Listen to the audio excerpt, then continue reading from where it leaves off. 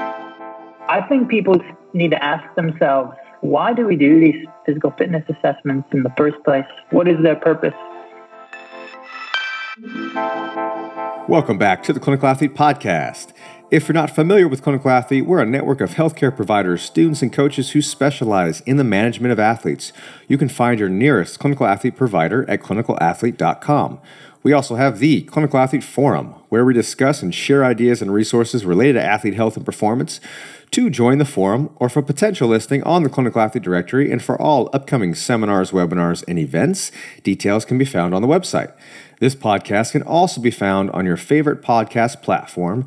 And if that platform allows you to rate the show, we'd appreciate you taking the time to do that so that we can get this information out to as many people as possible. My name is Quinn Henoch. I'm a doctor of physical therapy in Orange County, California at Clinical Athlete Newport. On this show, we are joined by co host Jared Maynard, who is the Clinical Athlete Continuing Education Director and a physiotherapist at Depth Physiotherapy in Waterloo, Ontario, Canada. He is also a strength coach and a competitive powerlifter himself. And we have our other co host, John Flagg, who is an athletic trainer and the powerlifting, weightlifting, and strongman coach at 301 Strong in White Plains, Maryland, and the owner of Rebuild Stronger an online coaching platform for strength athletes. He is also a clinical athlete provider and lead instructor of the Clinical Athlete Powerlifting Certification. We are also very excited to welcome onto the show Dr. James Nuzzo, who holds a PhD from the University of New South Wales and is a former postdoctoral fellow at Neuroscience Research Australia. He recently authored a paper titled The Case for Retiring Flexibility as a Major Component of Physical Fitness. And that's what we're going to be talking about on this show. We hope you enjoy it.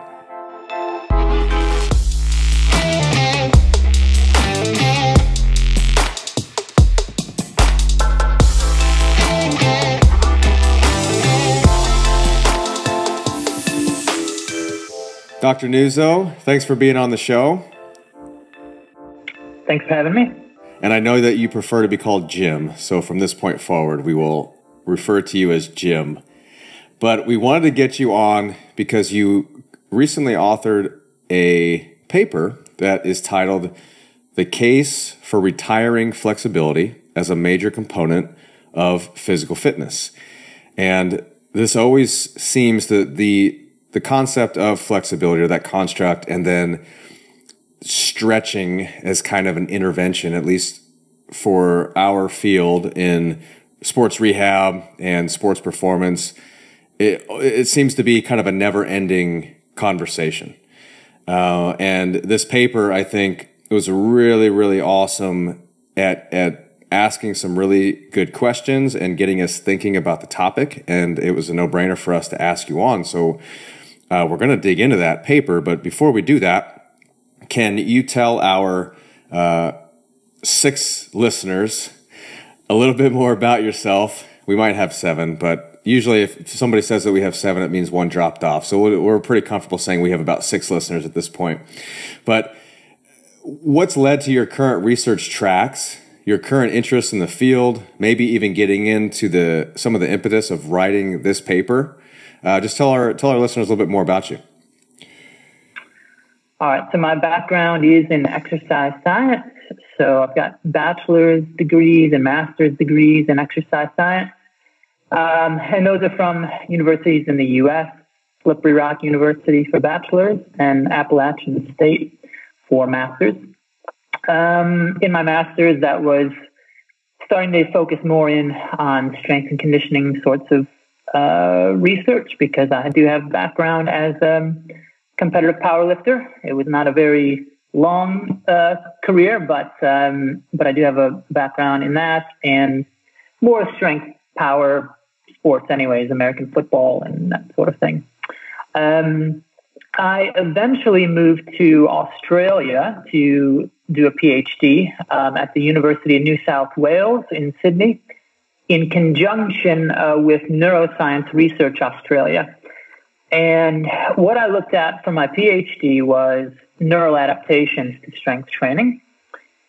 And then um, after that, I worked as a postdoc at Neura.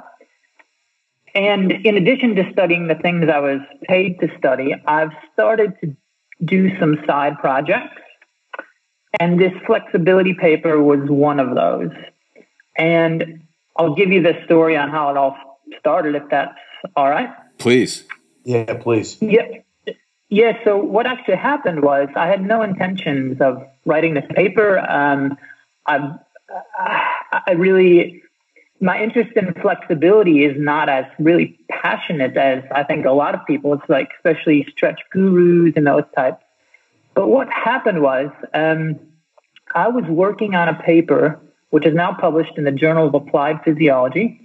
Um, it's a it's a CORP review paper. So this is a series of publications that the Journal of Applied Physiology is putting out to improve reproducibility of results in science. And we were asked, uh, myself along with Simon Gandevia and Janet Taylor, who are world experts in measuring things like muscle fatigue, muscle strength, we were asked to write this review paper for the journal.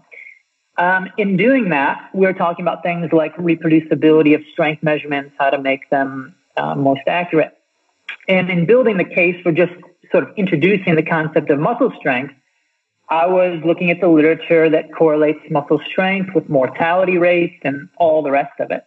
When I got into that literature, there was this one paper published in 2002 in Medicine and Science and Sports and Exercise it found, like every other paper, that muscle strength correlates with mortality rates. But what was interesting is that it had the sit and reach test in there as well, and it didn't cor- correlate with mortality. And I think that's interesting because a lot of things correlate with mortality rates. Like it's not it, a, a, lot of these measurements of uh, fitness and performance, they'll usually correlate with mortality in some way. Like um, so, I just found it very strange that that didn't work out.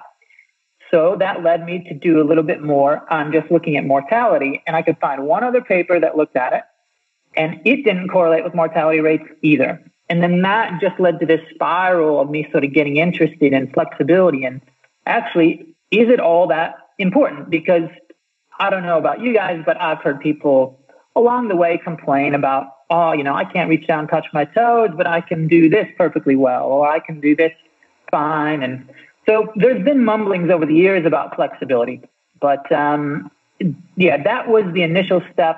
And then I just got all in. I said, I'm all in. I'm going to look at it. And the more I got all in, the more I convinced, uh, convinced myself that what I was doing was important and people needed to, to hear it. Well, we hear in the clinic, the narrative on, on flexibility is still very much alive. And obviously we'll get into the some of the nitty gritty on defining terms and being a little bit more nuanced with contextual factors and what we are actually talking about when we when we discuss flexibility and stretching and these types of things. But the uh, one one thing that I loved about your paper was the horse the historical background that you provided all the way from the beginning. Uh, I mean, the sit and reach test is is seventy years old, but the the notion of flexibility potentially being important in health and fitness even dated back beyond that and and you give a really really nice background to that and, and it's just interesting to see how it evolved not necessarily from evidence but from just narrative and uh, popular opinion it seemed to be at least. But uh, with with that the aim so in section 3 of the paper you, you laid out pretty plainly and it's it says the current paper proposes flexibility be retired as a major component of physical fitness. Can you can we kind of start at the beginning here and maybe trace trace back the construct of flexibility when it started to become on the radar for health organizations and why it started to be uh, thought of as a major component of physical fitness, and then maybe we can dig into why it's not necessarily. Yeah, well, to just very quickly answer your question, why it was thought of as a major component, I don't know, because as I lay out in the paper, the evidence was never really all that strong. So, where I start in the paper is with um, Cureton's, I think it's 1941 paper published in Research Quarterly. So, Research Quarterly is a very important journal um, in the history of exercise science and physical education and even physical therapy. And this is where a lot of a, lot of papers that have influenced exercise science sort of started from. This was before medicine and science and sports and exercise, before the ACSM existed, and so on. Um, and Cureton's paper, what he was looking at was it was sort of a review mixed in with some original data that he collected um, on swimmers and then some control participants. And I think what he demonstrated there was that the swimmers had higher levels of flexibility than the controls, which is not unusual. That's a fairly normal uh, finding from what I see. But what's so interesting about that paper, and I pointed that out in my paper, is that when he went to correlate swim performance with the flexibility, not only did it not correlate, he didn't even bother to report the correlations because he basically said, oh, there's, there's no significant correlation. Yet, things just somehow evolved over time and people still just couldn't, I sort of guess, escape the fact that maybe it's not all that important, especially, and this is really important with my paper, is the broader perspective and context, is um, in relation to all the other components of fitness. Um, so that's that paper by Cureton is the main one that got it going, really, at least as far as my historical uh, understanding. And then over the time, the 50s and the 60s, you continue to have similar sorts of papers like cross-sectional studies looking at, you know, sex differences in flexibility, maybe age differences, and so on and so forth. And you just find some of these commentary sort of style pieces that just sort of say how important it is, but yet they'd actually, if you look at the pieces closely, there's not strong evidence there. Um, there was one interesting paper. Uh, which one was that? Holland in 1968 was one person who finally said something. Oh, actually, the correlation probably is not as strong as we believe. That, that was a, a really good review paper that I found, but it didn't stop the momentum. Uh, so I think in 1980, that's when school fitness, well, I got to take a step back. So in the 1950s is when we got in the U.S. Um, the president's um, group on physical fitness. Dwight Eisenhower was uh, the president at the time. And the whole reason for that, by the way, which is an, another interesting historical fact, which is that the whole reason in the US that we have this President's Council on Physical Fitness and we do school based fitness testing is that in the 50s, there was a study published in the journal Research Quarterly that showed that American uh, school students had lower levels of physical fitness than European students. And that included a test of flexibility, among many others. So that it just goes to show you how important and influential certain research papers can be. It was the cause of what we do now. I'm, I'm American, so I went through all those school-based fitness tests. Um, and that paper is the reason why. Um, then it's sort of in 1980s it started to pick up. The sit and reach was included in um, the manual for physical fitness testing, and it's been a part of it um, ever since. And I believe it it still is. So just to anchor the conversation a little bit, we define and you define flexibility in the paper with a couple references is referring to the intrinsic properties of body tissues that determine maximal joint range of motion without causing injury. And then with so with that, it's it's a pretty it can be a pretty non-specific term, flexibility. So there's probably a lot of things that encompass the range of motion that is expressed. And you dig into that a little bit and, and you differentiate between dynamic flexibility, which is kind of our volitional motor drive of doing doing some type of movement pattern or the dictated by the muscle tendon stiffness and, and some of the properties therein. But the paper, we're dealing more here with static flexibility or what we would think of as traditionally where we're not volitionally contracting the muscle and we're just looking to go to whatever that end range is. And you make an interesting point that it, that is subjective.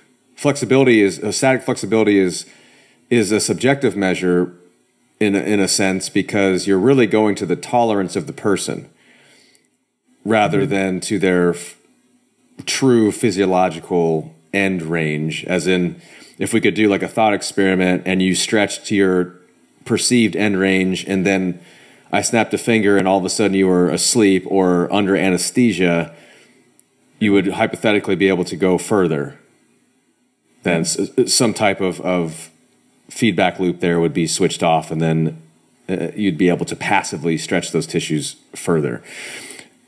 And then I wanted to anchor as well as we talk about the paper, a lot of the the narrative was based on the sit and reach test. Is that correct? Uh, that is correct. Do you want me to explain why that why that is? Yeah, I think so. Because then I, later on, I'm going to ask, well, how, what can we can we extrapolate? You know, basically t- to flexibility as a whole. We're talking about other joints in the body, but yeah, let's let's start there. Yeah, so that's I've, I've seen on Twitter. That's been sort of a bit of a criticism of it, and I try to address it early on. But the whole reason for it is because the sit and reach test is the test recommended by the ACSM for health-based um, fitness testing. It's the one that's included in school-based fitness tests in the U.S. And that's it. I mean, that is the the simple reason why. And there's you know lots of a, a lot of research uses the sit and reach when it for whatever purpose it's measuring flexibility, like if it wants to correlate it with activities of daily living or whatever it is, the sit and reach test is I think probably the most well known, and it's continually used in research and in practice in terms of the fitness testing domain. So um, that's that's the main reason, and yeah, I think it's good to be upfront about that. That it focuses. It's not exclusively about the sit and reach, but the majority of the paper is referencing papers that use the sit and reach test. Well, I also think it's important because I want to really get into one of the points I think that you've made really clear is flexibility is seems to be task specific and you don't necessarily get more gold stars if you have more flexibility than the task requires and there might be other ways to train that provide you with the same benefit of increased range of motion other than static stretching that also provides you other physiological benefits. As It seemed to be the crux of it, and that's what really pulled on my heartstrings. But if we pull back from there for a second, I want to dig into the injury risk because we're John Jared and I are clinicians, and a large body of our uh, of our listeners are clinicians as well, student clinicians, and it's still taught. I mean, I'm, we're not that far removed from school, and you know, flexibility was still a, a trait that was taught in school. We still test for it, passive testing. Uh, we, you know, we got our goniometers in our back pocket, these types of things, and and we're thinking about not only providing them with more range of motion to be quote unquote functional, to be able to do what they want to do, but also to decrease the risk of injury with static stretching, with providing them intervention to become more flexible. When you were d- doing some of your literature review and you were digging into the relationship with flexibility and injury risk, w- what were you seeing? What was what was the theme there? Uh, I, I, would say the theme is that the evidence is not as strong as the common perception, particularly of, I think, the general population, but I think even amongst maybe clinicians who, as well, who don't maybe read as much research.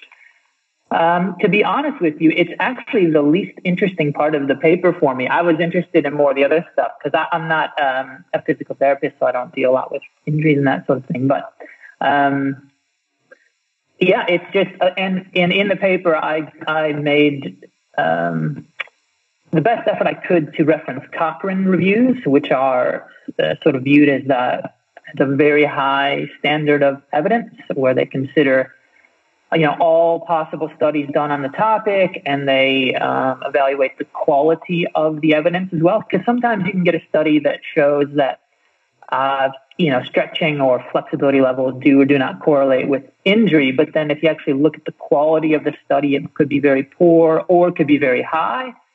so Cochrane reviews um, tend to take that um, into consideration. But um, overall, there's just not a lot of strong evidence, particularly with the sit and reach test, that it correlates with injuries. And I referenced a couple of studies done in uh, military uh, populations where in one of the study, and so that what they would have done is they would have measured the sit and reach scores at baseline, and then um, I think this is in military cadets, maybe going through basic training, or they follow them up for a couple of years and look to see who and who who does and who doesn't get an injury. Um, and I can't remember exactly which injuries they were looking at, and that's all very important as well. But that'll be in the paper. Um, and what they found actually is that people with the cadets with the highest sit reach scores were actually the ones more likely to to get injured. Uh, there was a follow up study, slightly different, but again in a male military population. And what then that one found was that, oh, it was actually both the highest and the lowest reach scores that were, that were more likely to predict injury. So there's that one. But what's interesting is that in females in the military, it wasn't predictive of injuries. Um, in any way. And that's actually important because females are more likely to get injured in military training, like by far. Um, and I cite that evidence as well. So, um, yeah, I guess overall, the evidence is just not that impressive, particularly when you consider how strong the narrative is. There was two things that spoke to me as I was reading through, and I kind of agree with you in that that section is not as exciting because it's just pretty much there's nothing to draw from it. I mean, what, again, your it, your paper was so great at providing the the historical background of these things. I mean, there's 300 references. I'm gonna be I'm gonna be pulling up your paper all the time just to cross reference. And but but these studies, it just shows you the complexity of trying to identify risk factors for future injury when you have conclusions that are either contradictory or e- equivocal between groups, where it's not it's not providing you any any uh, nudge one way or another, or it's correlational data where you you don't know which way that that directional arrow is pointing, and it, it's just a tough conversation to have. The other piece of it to me is well, let's think about injuries that happen, especially in a sporting population or uh, you know in the military.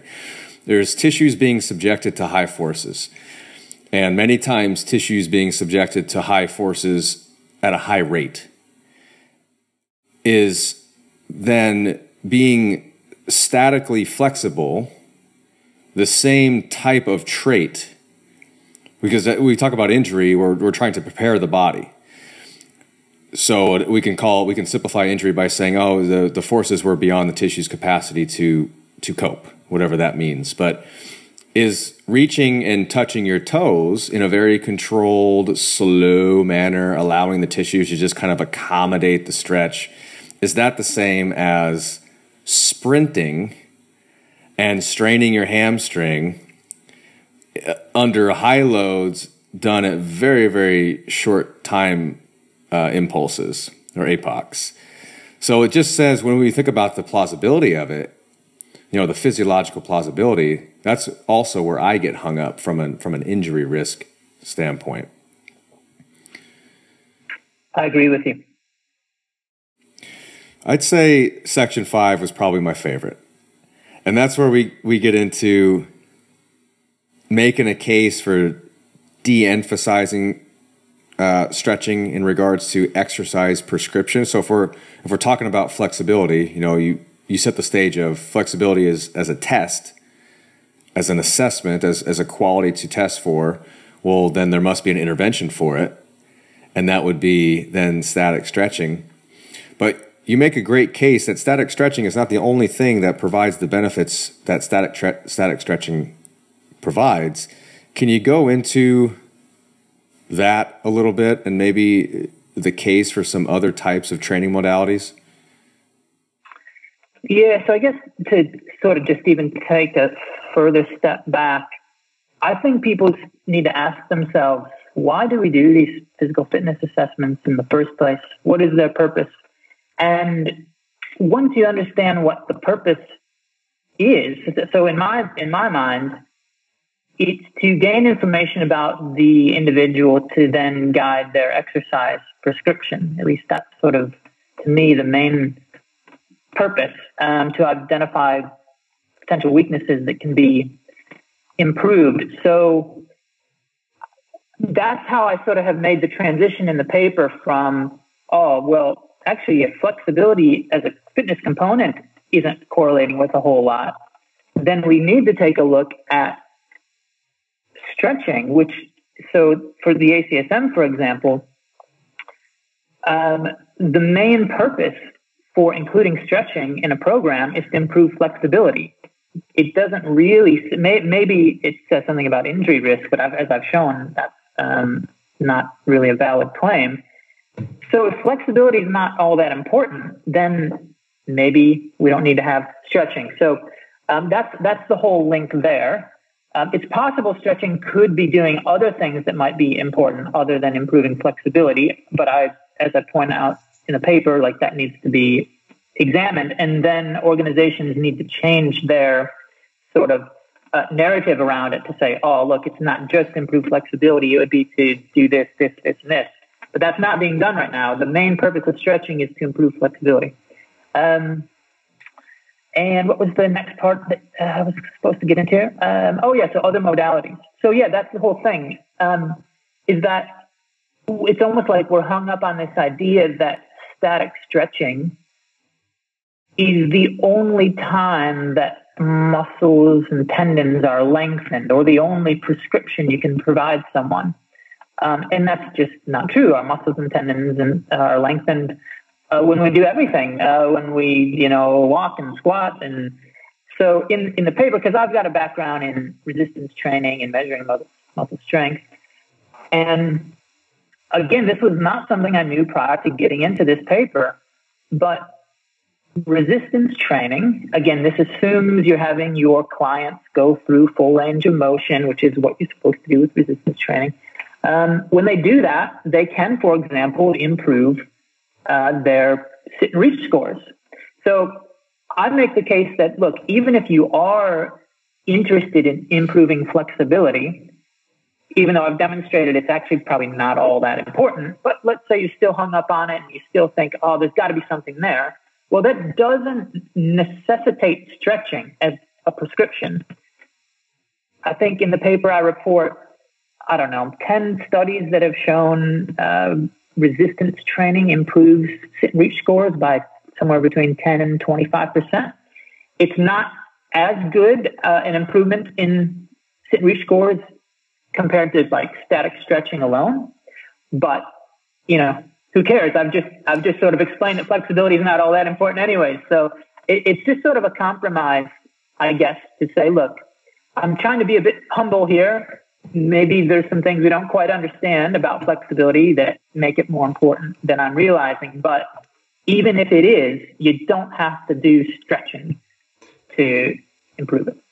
Well, I, I, think you do a great job of being humble and getting that point across. And in addition to section five being a great section, I really love section seven, where you make it very clear what you're not saying. You know, you're not saying that no one should ever stretch ever.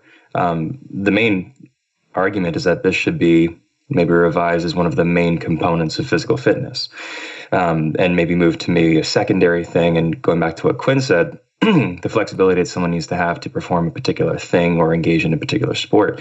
That's task specific. So if someone doesn't have the flexibility to, I don't know, uh, have a really nice, efficient freestyle stroke as a swimmer, maybe they could engage in some sort of thing to improve that. But then again, like you've just gotten finished saying, it doesn't necessarily have to be stretching uh, to accomplish that end. If the person enjoys it, sure. Um, but I think also going back to what you said about the narrative, the strong narratives attached to this, um, as clinicians and researchers, we, you know, not that we're researchers, but you are obviously, we've got influence over how people think they need to spend their time. And given that we can't manufacture any more time than we currently have, I think it's important that we tend to lead people in the direction that allows them to maximize the use of their time to the end of performing what they want to do as well as they might do that thing. Yeah, so th- that's something I see when I write this paper as sort of a general exercise scientist, I guess is how I think of myself. Um, I have in mind more of the general population, which in the US, for example, we know we've got some issues with overweight and obesity. And I'm thinking, you know, if you have, if an individual can dedicate, let's say, 30 minutes three times a week for a, for gym sessions or whatever the case may be, to me, that's a very inefficient use of time to take, let's say, five to 10 minutes of that 30 minutes and use it for static stretching because the um, I don't want to say the only benefit of stretching.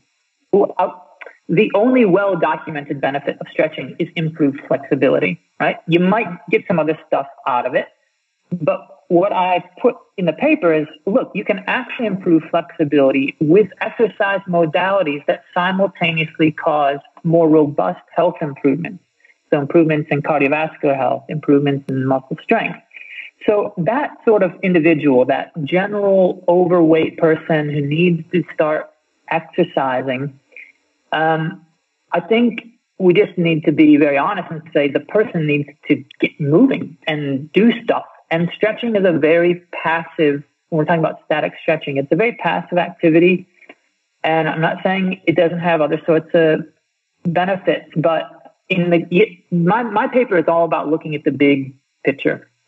And for those sorts of individuals, I just think it's a huge waste of time. It's it's you know if you take five to ten minutes out of a thirty minute session, whatever it is. Um, now at the same time, again, this is where I try to be a bit more humble. Maybe that static stretching is that person's favorite part of the whole thing they do in that 30 minutes. And if that stretching is what leads them to do the other 20 minutes, the cardiovascular work, then fair enough that's where you got to just deal with people at an individual uh, level. But as far as recommendations go, um, and I think actually over the years, anyways, the stretching recommendations I think have started to sort of decline as the evidence really hasn't piled in like people thought. So I think we're sort of maybe been getting there anyways, but um, I don't know, maybe my paper will speed up the process. I like the point that you make there regarding the personal preference because that's one of the rebuttals that that you'll hear. Um, what if they just like it? And that's fine. I mean, what, people ask me all the time. Well, what about uh, you know what about stretching? And the first thing that I say is, do you like it? And if they say not really, then I say great because you probably don't need to do it, we can actually get those same benefits. It's exactly what you what you laid out in your paper. If they say, "Yeah, I actually do. It feels nice. It helps to relax me." Let's say after a workout, or even as a as like a nighttime wind down routine. You know, they do their they do their kind of stretch routine on the ground. It helps them get into the that sleep mode. And I say that's that's totally fine. We, we educate on what it's providing. Maybe more importantly, you educate on what it's probably not providing so yep. don't prioritize that over this stuff. So this stuff has to take priority to move the needle to wherever we're trying to go. That those other things can fill in the gaps if you like it. But just be more the goal is being more realistic about what it's doing and what it's not doing. Um, and like Jared said, you you uh, I hope people read the full paper because uh, it's it's part of the last part, but it's part of what you say that you're not saying is that nobody should stretch or that stretching doesn't do anything. It's just having a yep. more realistic conversation. That's right. So, um, and and one of I sort of always when I'm writing stuff try to reflect back on my personal experiences, and I I used to do a ton of stretching when I was in high school and playing sports, but mostly because that's what I was sort of instructed to do at the time. But let me give you an example of how, and it relates to the relaxation component. So, um, those people who are really sort of against stretching, um, one thing they might say is, you know, never static stretch before a football game, for example. And I'm, I think I'm pretty okay with that. But when I was played high school football, we used to, um, as a team, go out on the field, of course, beforehand. we did some of the dynamic movements and, of course, our football specific movements. But we also did a period of where we were doing your typical sort of team static stretching, right, where you partnered off with someone.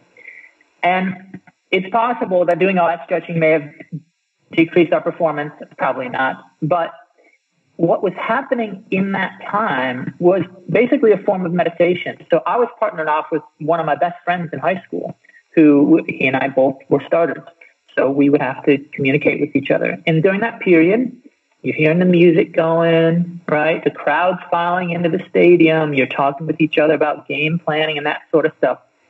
So this is where I try to just, I, I hope people, you know, people don't get too confused. It's like, look, there can be other things that are happening while you're stretching that could, I don't know, help, maybe help your performance. I, I, I don't know, but in this case of sort of the relaxation and maybe sort of the the Pilates and yoga realm as well, I think that's probably a lot of maybe what's um, happening there. I think we just sort of need to pin down.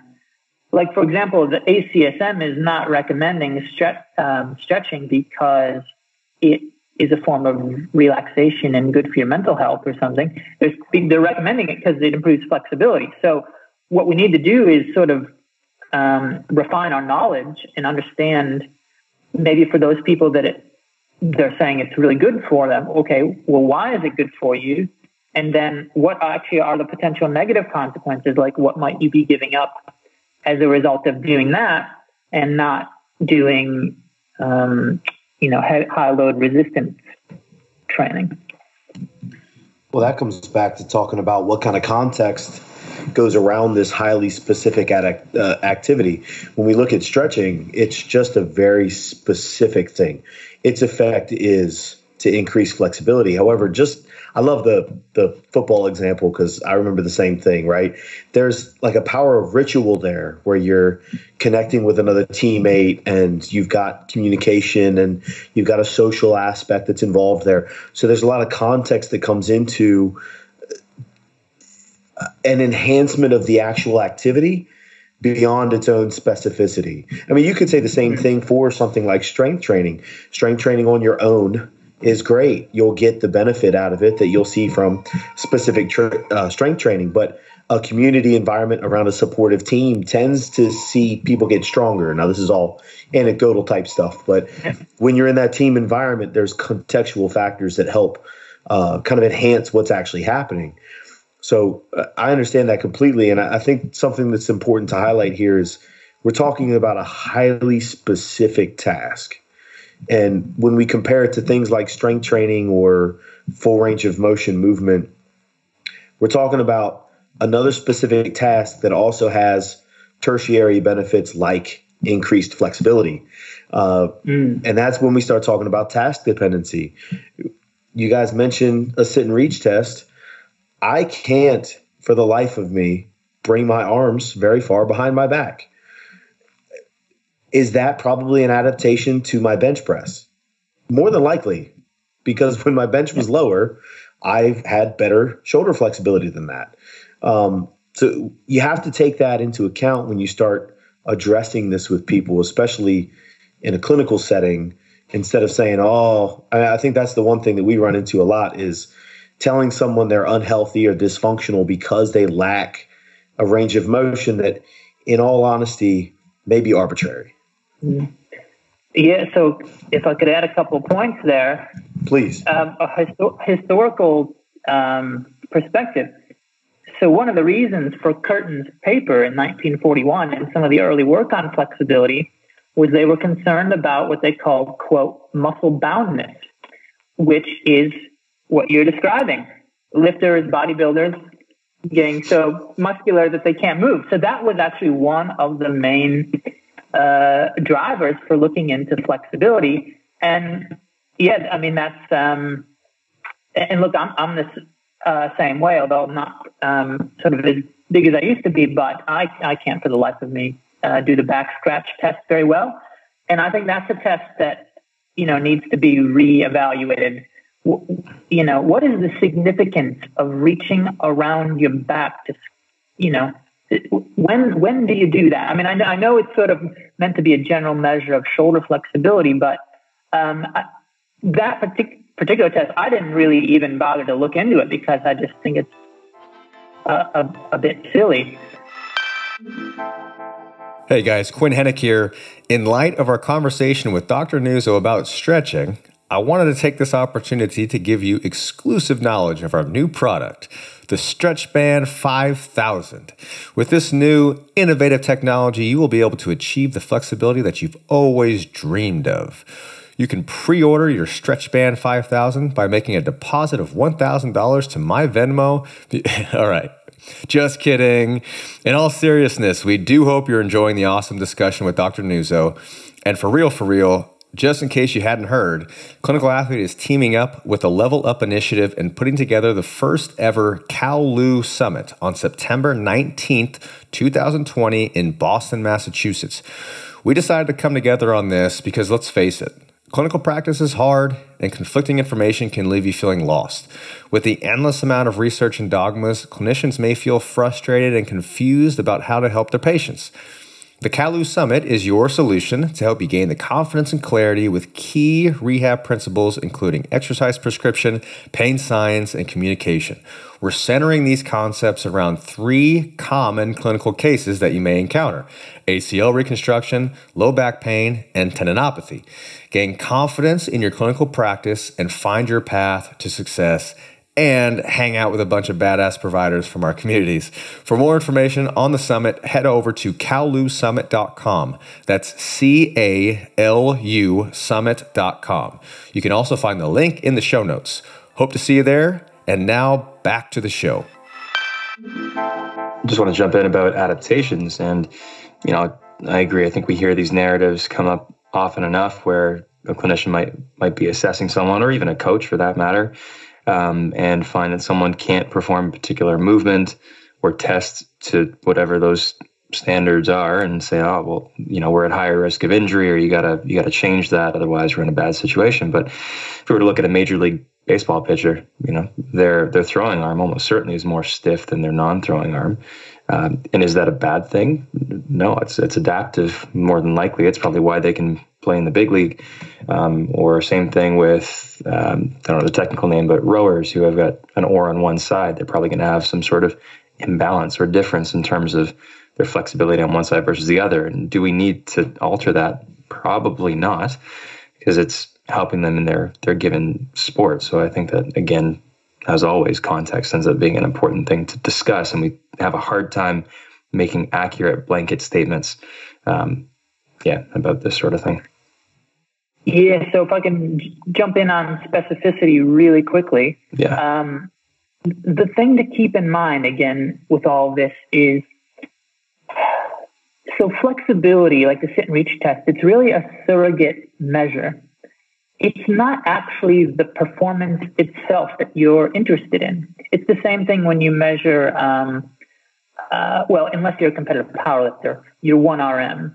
Your 1, a 1RM is a for, again, non powerlifters is a surrogate measure of performance or a, a, vertical jump, for example, the vertical jump test. No athlete, for example, is performing the exact vertical jump test in their game. They're, it's, so it's a surrogate measure of performance. So the reason I bring that up is this notion of specificity. So, for example, if in a research study, um, and let's say it's in elderly individuals, you want to see what fitness measures correlate with um, activities of daily living or, or some other measure that's a bit closer to being an actual like activity of daily living. So maybe an up and go test or, or something like that. If you think that up and go test is so important to look for a correlation with flexibility between it, then why not just prescribe to people up and go tests? Or, you know, if that's what you think is so important, why why bother trying to indirectly increase that test or that performance by improving flexibility? Why don't you just practice the test? So this is something that's coming up in the strength literature right now um, as well, where we're getting a bit hung up on what is muscle strength? How do you measure it to sort of be most reflective of um, performance. Uh, there's a lot of this now with sort of measuring vertical jump height as well. Like, you know, why? You know, can we get better measures of actually, um, in terms of athletes, like in-game performance rather than these surrogate measures? And again, I think that's another thing to keep in mind with flexibility in the sit and reach. It's not actually your daily performance. Well, I would make a point that I was that I'll forget about, but just to uh, just to defend maybe some of our uh, female listeners, the only time that in the clinic where it's been relevant, reaching behind your back, is for some of my female patients who have shoulder injuries and and mm-hmm. yep. you know donning and doffing certain garments. But I just it, it popped into my head because in case there's some female listeners that say, "Hey, I have to reach behind my back," I say, "Okay," uh, but but it, there's not a lot. Uh, you know, aside from that, there's not a whole lot where you're where you're doing something like an Apley scratch test. But we talk about specificity and looking in the paper in section 4.8, you actually list a bunch of references and some some interesting findings there uh, per sport where, for example, swimmers exhibit greater hamstring flexibility and, and ankle plantar flexion. Uh, shoulder flexion, trunk extension makes perfect sense, right, based on their task. Dancers have more hamstring flexibility, hip external rotation, abduction, ankle plantar flexion makes perfect sense with what they do. Uh, weightlifters have more shoulder flexion than bodybuilders and powerlifters, and powerlifters and bodybuilders actually have less shoulder flexion than the general population. So then we we go back kind of full circle to what John was talking about. Mm-hmm. And you know, what if what if John comes into the clinic and says, "Hey, my performance is really high in powerlifting, but I can't do my like to say his job is some type of manual thing where he has to use his shoulders. He's like, I can't get into positions. I say, okay, well, do you want to? But his goals are maintain maximal performance in powerlifting, also be able to do my tasks and say there might have to be some give and take there. Uh, mm-hmm. And usually looking at these sports, the other piece of it is what if you just do the sport? Will you then adapt to these types of things? If you're looking for more range of motion to be able to do the thing, what if you just do the thing? and we're assuming that the the training is appropriately dosed the variations are such that they're modified in ways where if you can't do the, spe- the very specific task of the goal they're layered so that you can do somewhat of a variation that that resembles that and then you develop this this specific flexibility over time and if you're if you're just one of those people who genetically you don't quite have the trait you're probably going to get trimmed out of that pool anyway. Like, as much as John wants to be a world class gymnast, he's too big. And, and, why you got to crush my dreams, yeah. man? or like, you know, with me, my bias, all of this stuff is speaking to my bias, mostly because I've always hated static stretching. Since I can remember since kindergarten. It was, I hated it. It was the worst part of gym class. You're reaching forward to touch my toes like I get that neural tension back there. I just absolutely hate it. And I just never had a lot of excursion. I have more now, but I've also been competing in the sport of, of weightlifting for t- 10 years, which necessitates ranges of motion that are more extreme. And I, my flexibility has gotten a hell of a lot better without static stretching, just doing that type of training. But you know, I, I, just I just think that maybe some people are wired up for certain things, and the sport almost chooses them more so than they they train their body into the sport, or at least it works somewhat in both directions. Um, I don't know. The, sport specificity piece of it is, is always interesting to me. Like, which way does the arrow go? Well, yeah, just quickly, I'll just throw in there. I know, I know it's cross sectional data, for example, on swimmers versus controls or dancers versus controls, but it just actually speaks to the notion of.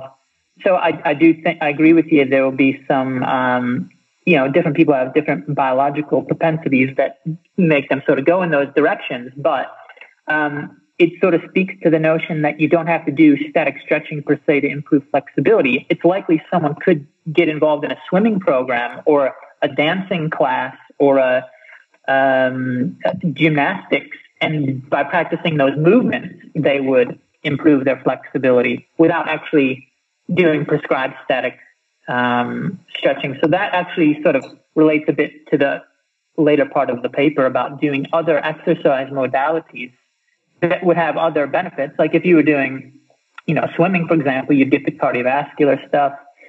If you're doing gymnastics, you get strength power adaptations along the way. So, yeah. I think some of it too is people don't they don't quite understand the training process. Like it takes a while. So if like I went to a dance class and I try to do something that involves kicking my leg really high, the first time I'm going to be like, "Oh my god, I need to go stretch." Like that would be my first inclination. Like I can't do this. I need to go do something different to now be able to do this. Mm-hmm. But when you you know, you think about it, no, you can just keep doing this, but just go as far as you can. If the body's adaptable to whatever your structure will allow, over time you'll be able to kick higher and higher. It's like I always give the example of when you warm up, you go into the gym and you've got squats, and you do that first air squat, and everything hurts, and you're like, oh Lord, I need to go warm up for my warm up. And then you go off and you do a bunch of non specific things. Where if you, if you just stay in there and just kind of keep working into that squat 10 or 15 minutes later you're actually feeling pretty good and you and you kind of stuck with the specificity of the thing now my example with me in dance class would require much more mm. exposure and uh, there's a ceiling there but i think maybe it's it's just that wanting it to happen like realizing your deficit and then and then thinking that you need to do something extra to get it fast instead of just yeah. appreciating that you are here now and that if you just kind of keep exposing yourself to this thing, it will improve over time. Uh, now it's easy. It's easier said than done on the outside, but yeah. Well, that harkens back a little bit to what he said about time, and it's something that you know we mentioned in the course quite a bit. Is it, time matters? It is January tenth right now.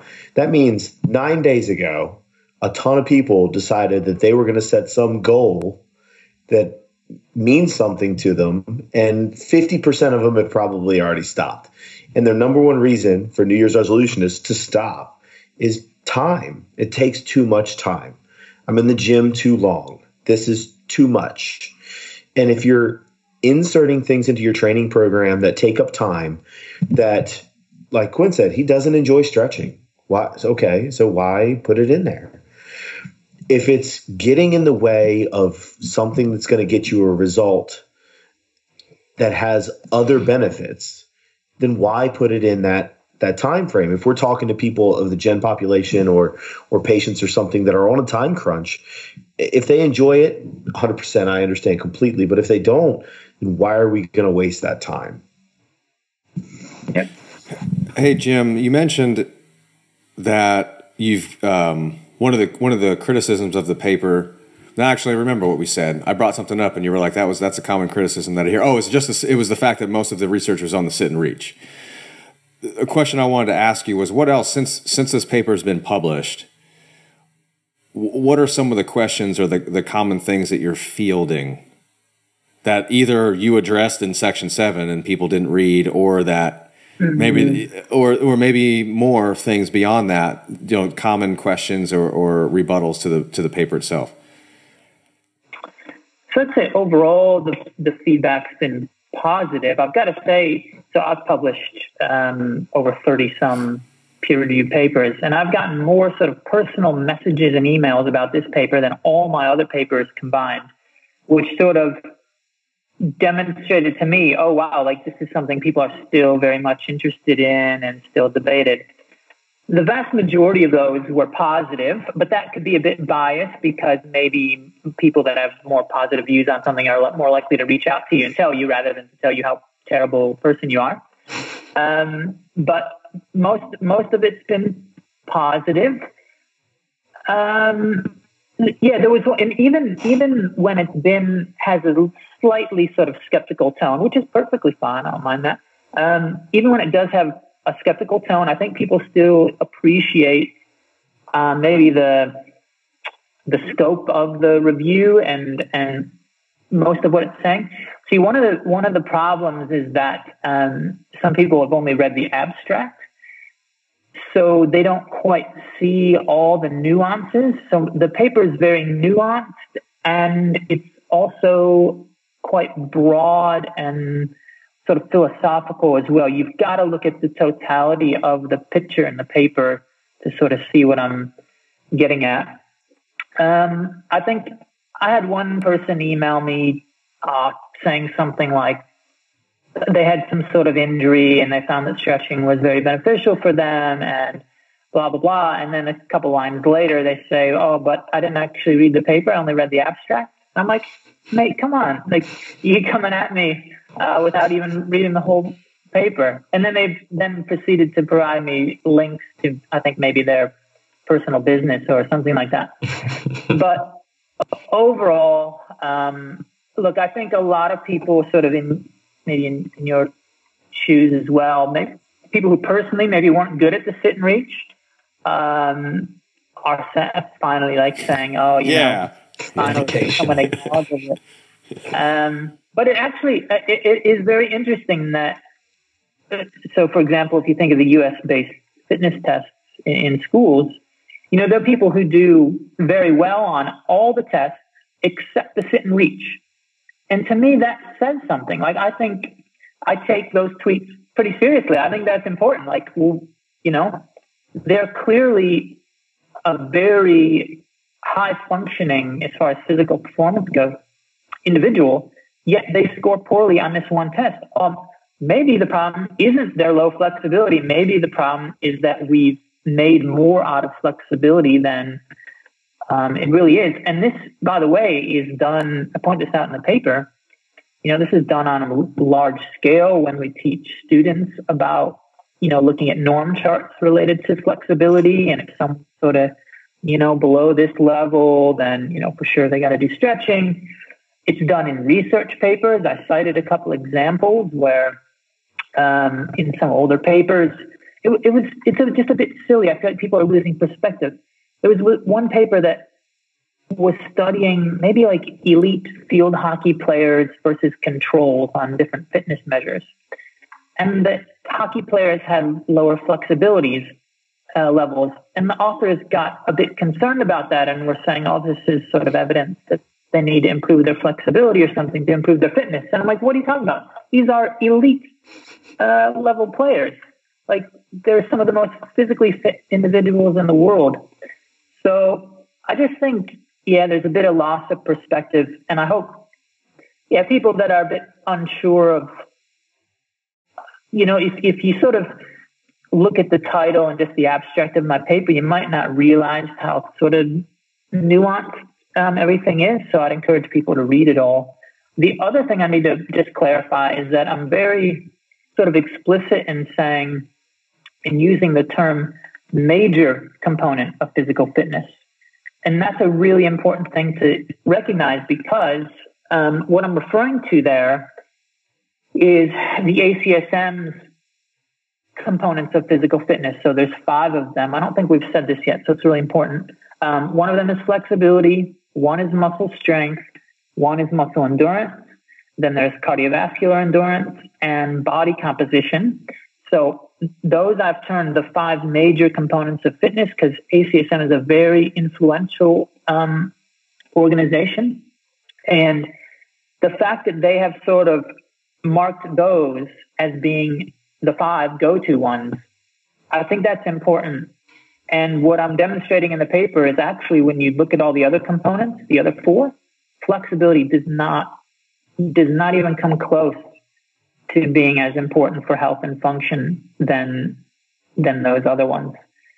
Um, so yeah, it's important to recognize in the paper. I'm saying major component. It doesn't mean that flexibility isn't important. It could be sort of like a secondary um, component, and maybe we need to have bigger picture discussions on physical fitness testing. Which ones are the most important, and then which ones are maybe the more um, secondary ones because I can think of you know tons of tests that would be better than the sit and reach. Anything that involves actually moving your body, uh, first of all, would be a, a good start.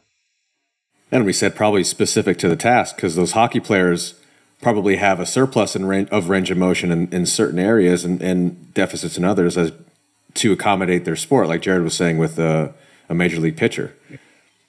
Yes. And to the, to your point about the totality of the evidence, you do present evidence that also, if you read it as a standalone, would be evidence in favor of static stretching. You you are presenting one thing I appreciate about the paper is you're presenting the evidence, and there are there's evidence on a sliding scale, and that's how I kind of conceptualize the totality of the evidence. Where am I nudging? What am I nudging towards?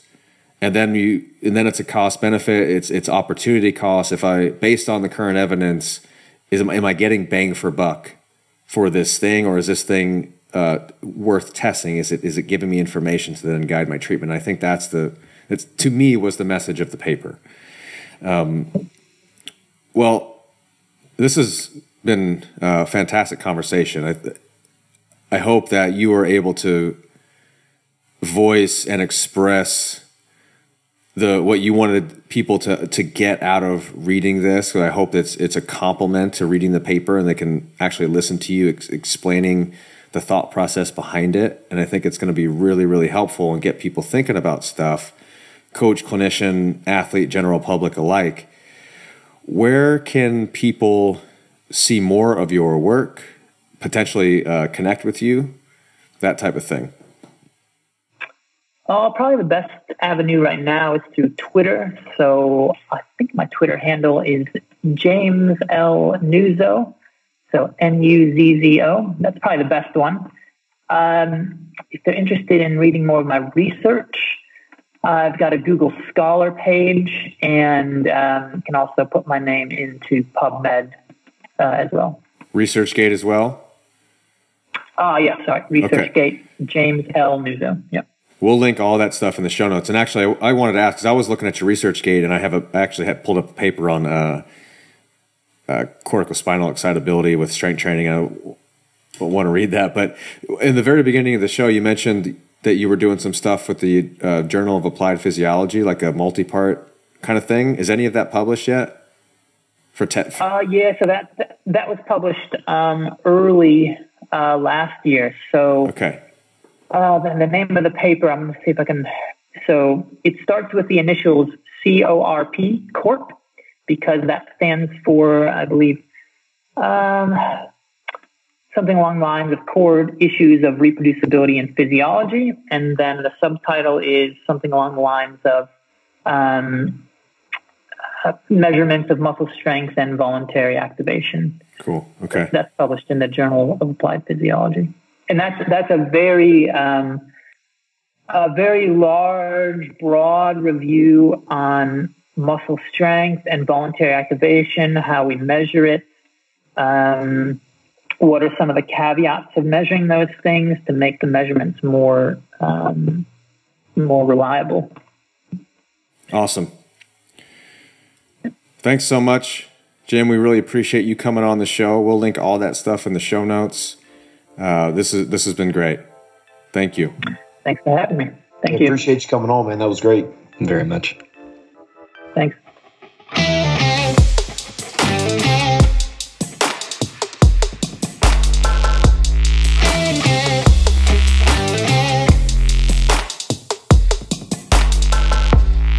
We'd like to thank Jim for being on the show. You can check out the show notes for links to all of Jim's work and the paper that we discussed on this show. And of course, thank you to my homies, Jared Maynard and John Flagg, for steering this ship alongside me. And thank you, the clinical athlete community, all six of you, for joining us on this journey of knowledge and improved practice in both the gym and clinic.